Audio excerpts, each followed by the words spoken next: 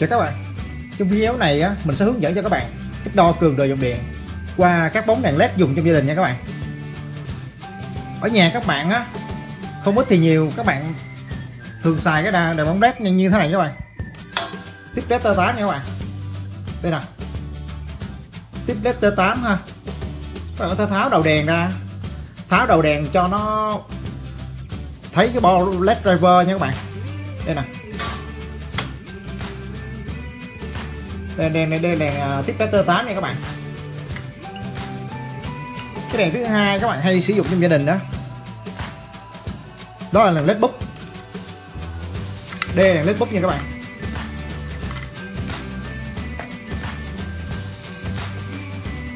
Đây là loại đèn led âm trần. Led búp này á ở trong là bên trong đây là bên trong cái đuôi đèn này là có cái mạch led ra nha các bạn.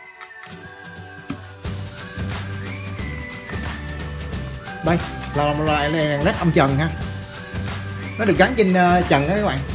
Cái trần thường là người ta cho thiết kế design cái trần một là trần gỗ hai là trần thạch cao. Người ta sẽ lắp với phía trên cho nó dạ nó chiếu xuống ờ, phía, phía dưới nha các bạn. Đây là cái nguồn led driver của nó nguồn rời nha các bạn.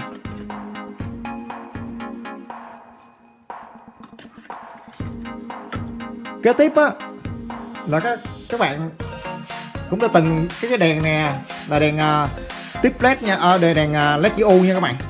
Nó nó design á. Y nhìn chữ U ha. Ở đây á sẽ có bốn cái nha bạn. Cái như hình chữ U các bạn. Bốn bốn cái à, bốn cái hình chữ bốn cái chữ U nha các bạn. Là led 4 U ha. Một số led khác á là led 3 U. 3 U là chỉ có ba cái nha các bạn. Gọi là led 3 U ha. Cái này led 4 U. Cái cái đèn à, led này á nó thay thế cho cái đèn con bắc á, mà con bắc hình quang ha. Cái loại này tiết kiệm điện các bạn. Đa phần này tất cả đèn led đó, nó thay à, thế dần dần cho cái đèn đèn, à, đèn sẽ đốt hoặc là đèn huỳnh quang đèn có bắc các bạn. Nên khả năng tiết kiệm điện rất cao nha. Cái công suất đó, nó, nó tương đối thấp nha các bạn nó cũng tầm uh, vài chục watt à có cái loại uh, mười mấy watt.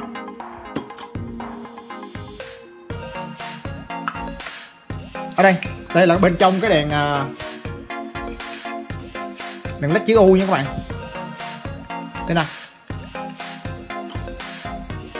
Đây là cái bon mạch led led driver của nó.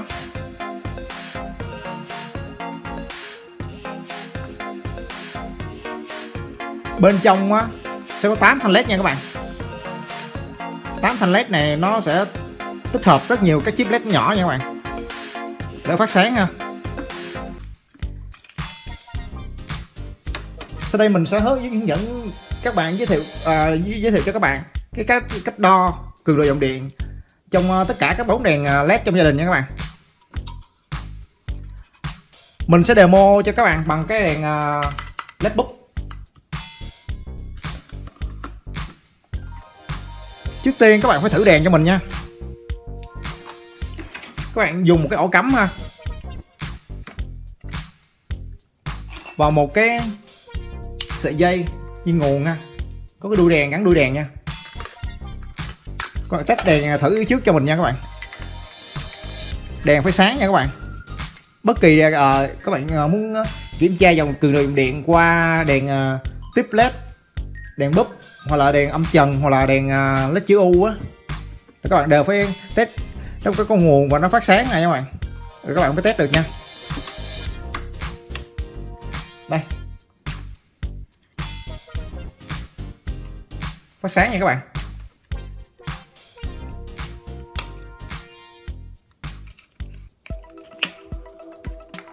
Bây giờ mình sẽ đo cường độ dòng điện qua cái đèn bóng đèn led này nha các bạn.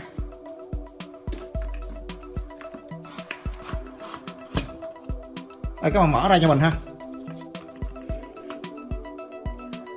Trước tiên á các, các bạn phải xác định cho mình cái gì nguồn ha. Thì cái đây là cái vỉ led nha bạn hay là gọi là cái module led ha. Module led. Đây là cái hai viên nguồn led viên nguồn led driver nha các bạn. Led driver đầu ra ha các bạn phải xác định cho mình là như nào như âm như nào như dương nha các bạn. Thì đây nó có cái hai cái hiệu không một cái gì gì đỏ nha các bạn. Gì đỏ, gì trắng ha gì đỏ là nguồn dương nha các bạn. Gì đỏ là nguồn dương, còn như trắng là nguồn âm ha còn nếu các bạn ờ, không chắc chắn thì các bạn cứ cứ đo bình thường cho mình. Cứ dùng đồng hồ các bạn. Cắm điện vô dùng đồng hồ ha, đo xả một chân ra mà đo đo điện áp ha.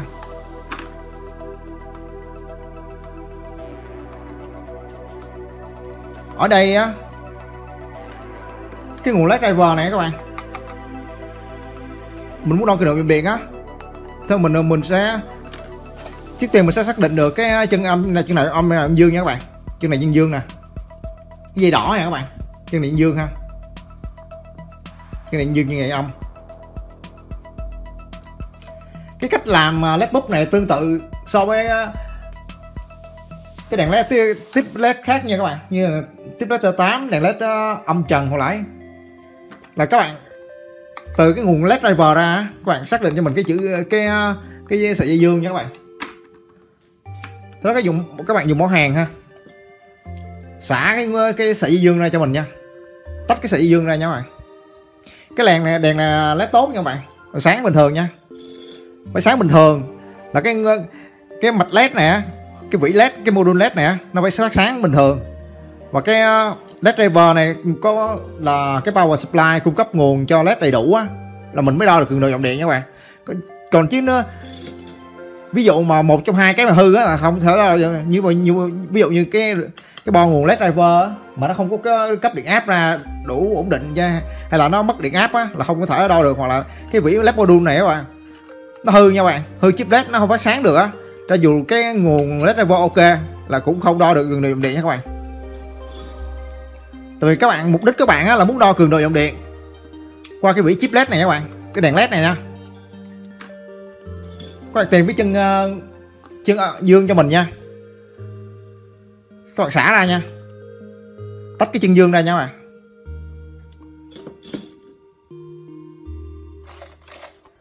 Đây nè. Các bạn thấy không? Đây gì đỏ nha. Gì đỏ chân dương gì trắng chân hồng ha. Gì đỏ này trên dương hết nha. Các bạn tách ra cho mình.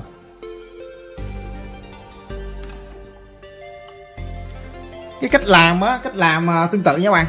Sau mới led âm trần đèn led tiếp led T8 của y hệt như vậy? Hoặc đây đây là cái đèn uh, led chiếu của các bạn. Đèn led chiếu các bạn các bạn muốn đo cường độ dòng điện qua cái, cái tất cả chip led nè các bạn tách ra cho mình ha. Tách cái sợi dây, dây, dây dương á dây đỏ. Các bạn xả ra nha. Xả ra như y hệt như vậy. Là ý là cái cái cái dây âm của nguồn led driver nó vẫn còn dính trong uh, cái cái vỉ led nha các bạn. Còn như các bạn chỉ cần tách ra một cái sợi dây dương thôi. Đây nè. Ở đây dây đỏ mà bên trên đây nha các bạn. Các bạn tách ra nha.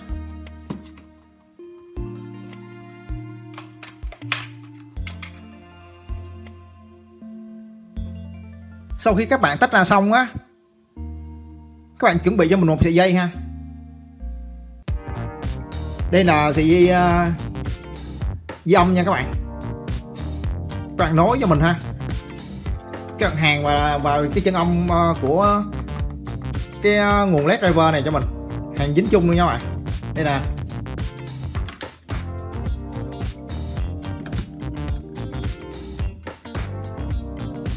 Lấy một sợi dây âm dài dài nha các bạn. Để mình giải thích tại sao mà các bạn phải dùng dây âm các bạn có thể đo trực tiếp được. Nhưng mà cái một số một số bạn á, không cẩn thận các bạn. Từ cái nguồn ra nó hơn 100 bôm nha các bạn. Nên các bạn à, nhiều khả năng á, các bạn mà không à, cách điện, cách ly à, tốt á, nó sẽ bị giật điện nha các bạn.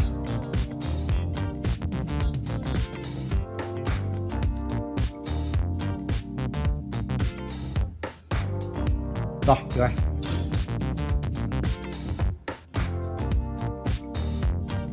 Đây là nguyên nhân tại sao á? Mình khuyên các bạn nên dùng sợi dây âm ha. Nói chung uh, sợi dây âm dài dài để mình cách cách ly cho nhau các bạn. Không có ờ, đụng chạm trực, trực tiếp lên cái ờ, cái vĩ phím cái bo mạch vậy chạm tay vô có thể khả năng nhiều khả năng bị giật nha các bạn. Từ cái điện áp cao á như cái cái nguồn như 12 24V các bạn chạm tay không sao ha. Còn cái nguồn này mà điện áp cao nên các bạn chạm tay nó bị giật nha các bạn.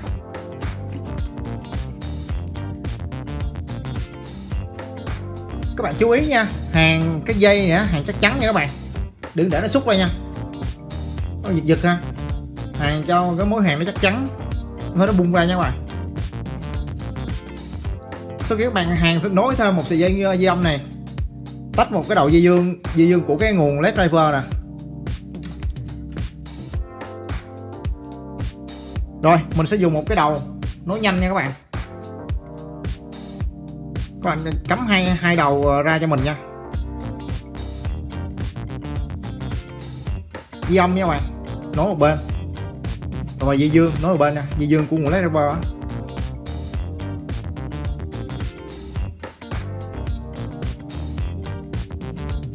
rồi, vậy như vậy được rồi nha các bạn các bạn. Đây nè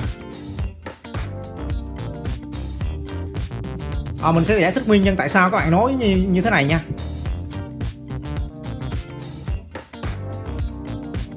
Tại vì đây là cái cách đo các bạn cường độ dòng điện nha các bạn.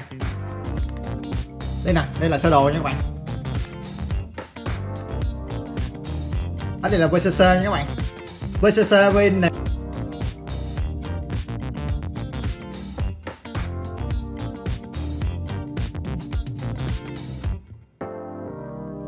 là bên này các bạn là điện áp của nguồn led driver nha các bạn.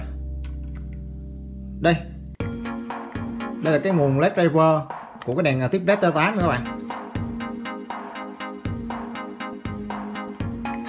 Còn đây cũng là nguồn led driver luôn nha các bạn. Led driver của nằm trong led búp đó các bạn. Led búp và led T8 hoặc là led uh, chữ U của các bạn. Đa phần cái cái đèn mà cùng công suất là xài chung hết nha các bạn các bạn nếu trường hợp mà hư bo mặt lấy driver các bạn lấy lấy cái nào tốt quá. Từ một trong ba cái đó các bạn sàn qua được cũng được ha các bạn. À, chú ý công suất cho mình nha. Cái công suất đèn á cho nó phù hợp ha. Cái, cái, nhiều khi ờ, cái, cái đèn công suất nhỏ mà các bạn lắp cái này ờ, công cái cái, cái nguồn led driver công suất lớn là nó cháy luôn cái ờ, đèn led chip led bên trong nha các bạn. Để chú ý cho mình nha. Đây là điện áp của nguồn led driver. Các bạn dùng cái đồng hồ VON cho mình ha. Chuyển cái thang đo ampere. Và cái thang đo ampere cho mình nha các bạn. Đây, các bạn bạn thang đo ampere. Cái que dương á, que dương sẽ nối vào dương của của VCC cái này chính là cái nguồn ờ, led driver các bạn. Nè quay dương của đồng hồ VOM các bạn sẽ nối vào cái chân VCC cộng nha. còn đây điện trở led. Led là cái nguyên cái module led nha các bạn. Đây nè. Toàn bộ cái module led này nha. Hay là trong ờ, cái bóng đèn uh, tơ 8 à đây nè. Là toàn bộ tất cả các chip led này nha các bạn. Chip led trên thanh ha. Cái này á điện trợ tổng nha các bạn. Tại vì mỗi cái điện cái led này á nó giống như, giống như là một diode nha các bạn. Cái này là diode, phát quang ha. Nó sẽ có một tổ nội trở điện trong trong đó nha các bạn. Nên các bạn điện trợ led. Là uh, điện trợ led này là toàn bộ tất cả chip led trong trên trên trên bo nha các bạn. Và dòng á khi các bạn đặt cái điện vô đây điện áp nè. Điện áp trên nguồn uh, led driver nó sẽ và các bạn dùng cái một cái đồng hồ để đo cường độ dòng điện. Thì cái sẽ tạo ra dòng điện nè. Mặt kính nha các bạn. Qua ờ, toàn bộ chip led này nè các bạn. Toàn bộ chip led này. Rồi sẽ đi và chân âm của VCC nha các bạn. Các bạn nhìn sơ đồ mà các bạn ờ, đấu dây nha các bạn. Đây nè. VCC đây nè. Là cái nguồn nguồn led driver đây nha. Nguồn led driver các bạn. Cái này cái vỉ chip led nha các bạn. Đây là vỉ chip led vẫn còn nha các bạn. Là các bạn chỉ còn cắt cái dây cái dây nối nha các bạn. Thay vì à, các bạn uh, bỏ cái cái à, ampe kế này đi. Là mặt kính nha các bạn là nó phát sáng á. Các bạn giờ các bạn tách ra tách cái chân dương ra nha các bạn. Cắt cái chân dương ra các bạn lấy uh, em các bạn nối nối bình thường cho cho mình ha. Chiếc âm chiếc âm em nối với cái một đầu ờ, còn lại của cái, ờ, điện trở tổng này các bạn. Điện trở led led này cái vỉ phím nè. Vỉ led vỉ led hay là đây là vỉ led này các bạn hoặc là cái thanh led của đèn led T8 nha các bạn. Còn một đầu chân dương á chân dương của cái đồng hồ VOM các bạn sẽ nối vào cái nguồn ờ, nguồn ấy nha các bạn. Đây nè cái đầu chân dương nè các bạn sẽ nối nối vào cái cái nguồn VCC là cái nguồn uh, cộng của led driver nha các bạn bạn nhìn sơ đồ các bạn nhớ đấu dây uh, y chang như vậy là các bạn đâu được cường độ dòng điện nha các bạn. Cái cách này áp dụng luôn cho tất cả các đèn led trong gia đình nha. Đèn uh, led âm trần đèn led T8 led búp hoặc là led, led chữ U. Các bạn có thể áp dụng cách này để đo toàn bộ các ờ, uh, để cường độ dòng điện đi qua uh, vỉ led hoặc là module led đó các bạn. Của toàn bộ cái bốn đèn led cho dùng cho gia đình nha. Rồi, các bạn vừa sơ đồ này, các bạn à, đấu dây nha các bạn.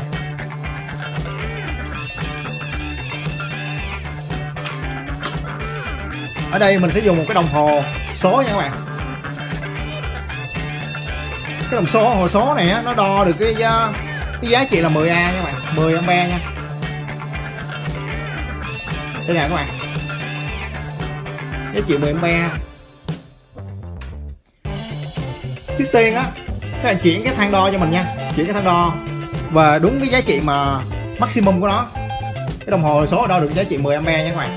Các bạn chuyển về giá trị 10 a cho mình nha. Bằng chuyển mạch nha các bạn. Đây. Đây giá trị 10 ampe nha các bạn. Cái bước thứ hai á, cái que đo này bên đây nè. Các bạn thường hay cắm để đo điện áp nè. Đo ôm là đo uh, tổng chở bạn. Đo điện chế điện chở nha. Còn bên đây là cổng con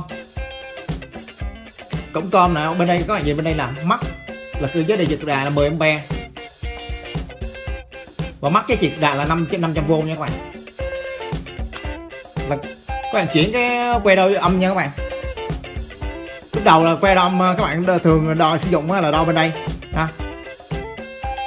đo điện áp hoặc là đo tổng trở, đo điện trở, rồi chuyển vô, vô cho mình cái cổng con nha các bạn. Cái chỗ mắt 10 ampe nha các bạn. Nhớ chuyển đúng vị trí nha các bạn. Nó mới ờ, hiển thị nha. Rồi các bạn đặt đặt đúng que đo cho mình ha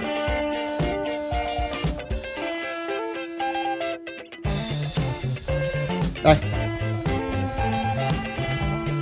Sau khi các bạn các bạn xét như kiểu như thế này á các bạn sẽ dùng uh, đây là hai hai đầu que đo ha. Que âm á. Que âm các bạn nối về chân âm nha các bạn chân đen nha. Chân đen một cái dây nguồn nó dây dây âm á mình nối thêm á. Còn que dương á. Con cặp về đây cặp về chân dương của led driver nha các bạn. Này à, giống thiết kế cách à, đi dây các bạn, y như sơ đồ nha. Đây nè. Ờ, nhìn nhìn cách đi dây các bạn ấy nha. Đây là đồng hồ của em á, để thang đo à, ampa kế ampe để đo cường độ điện qua qua cái chip led này, toàn bộ chip led này các bạn.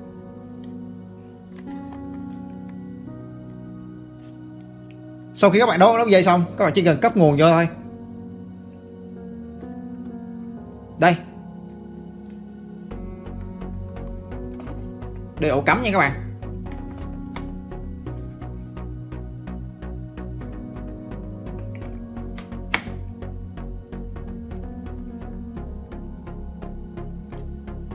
Rồi, các bạn kiểm tra nhìn kỹ cho mình nha. Đây nào? mình sẽ bật nguồn lên nha các bạn. Nhớ đúng dây đúng nha các bạn. Rồi, các bạn hạn chế nha. Các bạn hạn chế là chạm tay vô cái này nha các bạn. Chạm tay vô, cái từ cái điện áp cao á, nó sẽ giật nha các bạn. Các bạn cẩn thận cho mình nha cái điện áp thấp á các bạn sờ vô không sao mà cái điện điện, điện áp cao á hơn một trăm mấy chục v á là các bạn đụng vô cái giật nha các bạn. Rồi các bạn đo các bạn mở công tắc lên các bạn sẽ đo được uh, cường độ điện qua cái vỉ chip led này nha các bạn.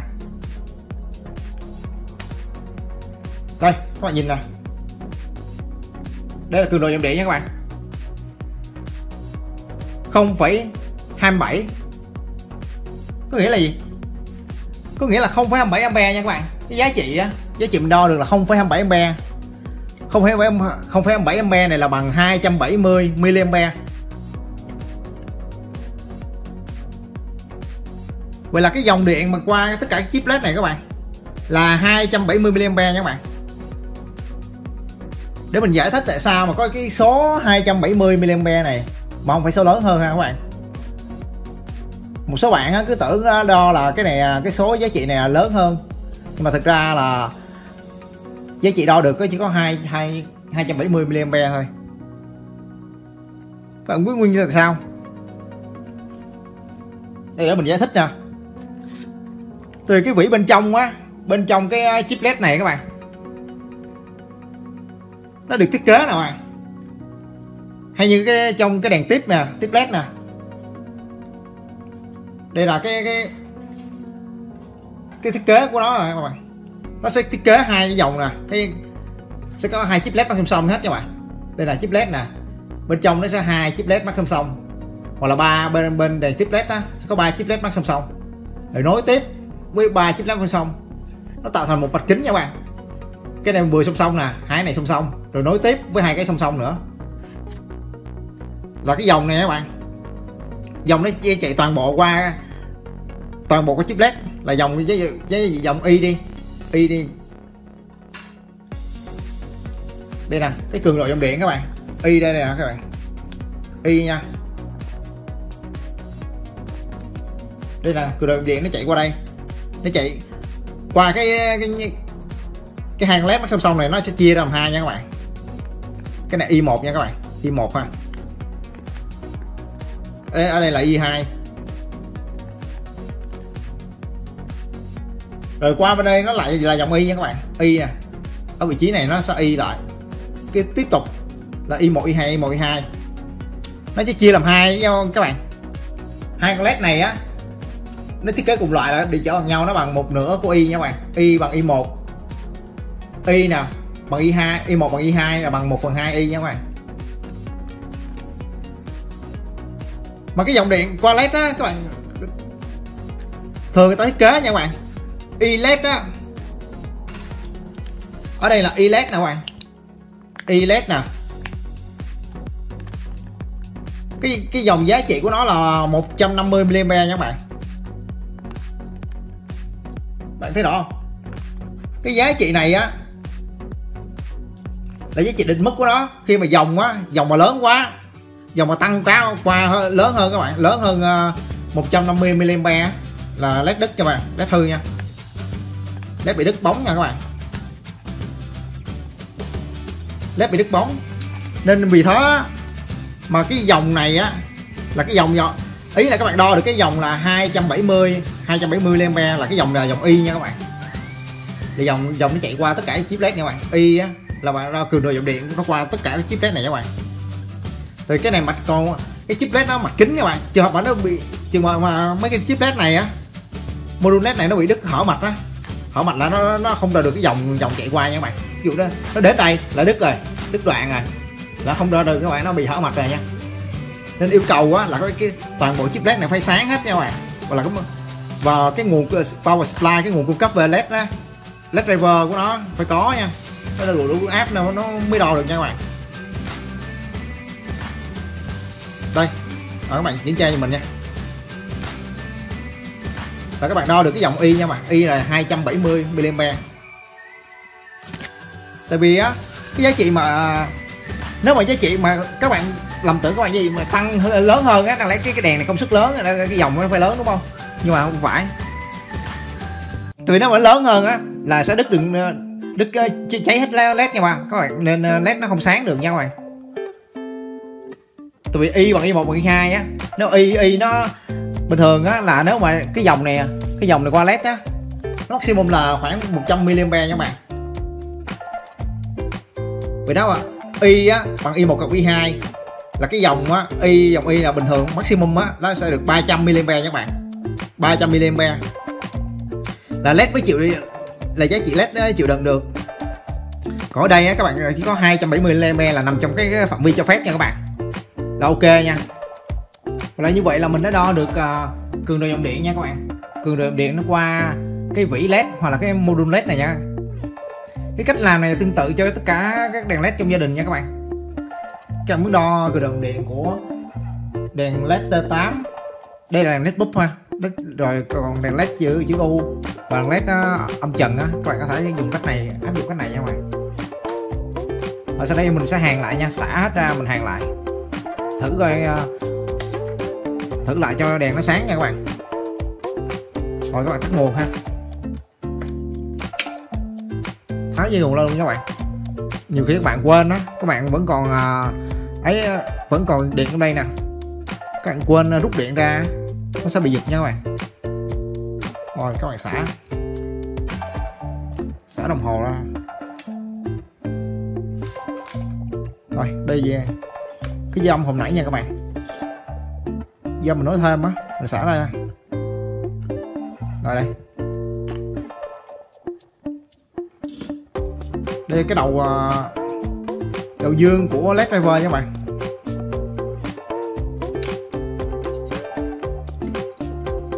Đầu dương led driver, các bạn hàng vô lại nha. Hàng vô lại cho mình nha.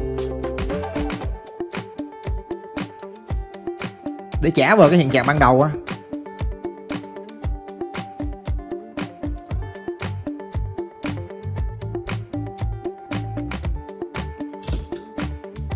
Như là xong nha các bạn. Thấy nè. Hàng lại nha. Hàng lại với, với, với nguồn dương của led driver rồi còn cắm điện vô. Test ha. Điện lên. Nha các bạn. Sáng ha, bình thường ha. Rồi các bạn đóng nắp lại là ok. Cách nhựa ha bạn lại lò xong.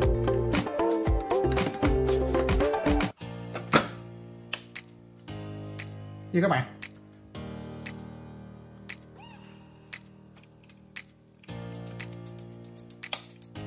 Rồi, là trên đây mình đã hướng dẫn cho các bạn cách đo cường độ dòng điện nha các bạn. Của các ờ, chip led bên trong của bóng đèn ờ, led vừa thường dùng cho gia đình nha. Các bạn nào có thắc mắc ờ, hay có câu hỏi nào á, các bạn cứ để để lại comment ở phía dưới video nha các bạn. Rồi mình sẽ giải đáp cho các bạn thắc mắc nhiều những thắc mắc đó nha. Rồi, hẹn gặp lại các bạn trong video sau. Chào các bạn.